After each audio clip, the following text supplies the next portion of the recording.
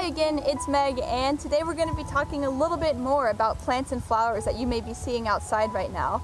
I know I could have moved on to another topic, but quite frankly, there are so many gorgeous flowers out right now that I still want to talk about them, um, highlight some of their cool features, and also talk about this weird bug that you may have been seeing around recently. So stay tuned, and I hope you enjoyed the video.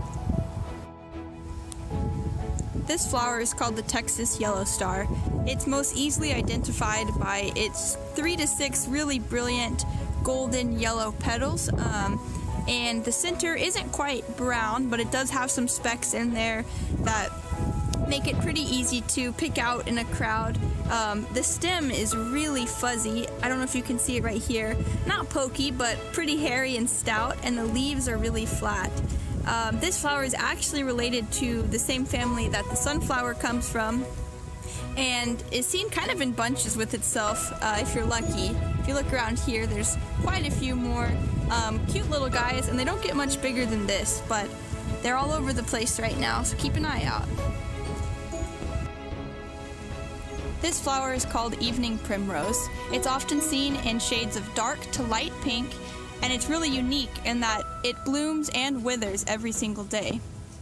Its namesake comes from the fact that the new blossom comes in the evening and often is seen until the next afternoon when it starts to actually wither away.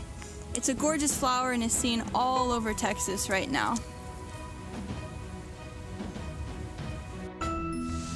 This plant is called black medic. It's not necessarily a wildflower, but I did want to point it out because it's absolutely all around town. Um, I see it next to sidewalks, in front of buildings. Um, it's pretty prolific right now.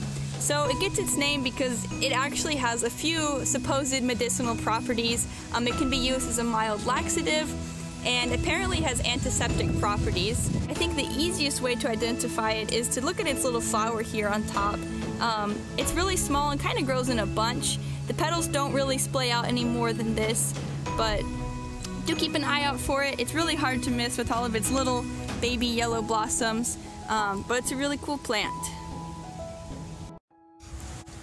So if you've been out looking around at wildflowers recently, you may have noticed that a lot of plants have this little kind of white, spitty, bubbly texture, um, often where the stem meets the base of each leaf.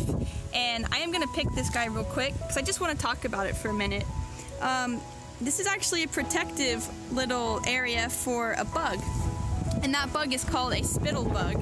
It's aptly named because its little protective outside here looks like someone just spit on the plant, but inside there's actually a bug that's growing. Um, they use this for a lot of protection when they're quite a bit littler, when they're still nymphs or they're babies. But um, I'll show you inside what we look like and we might be able to find the bug.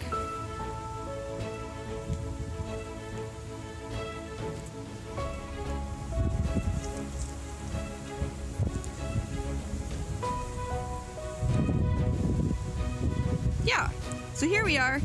Here's a, he's actually a little bit bigger than I was expecting. But this is your spittle bug, and he lives inside these guys. They're not detrimental to the plant, but they do um, feed on what's inside the stem.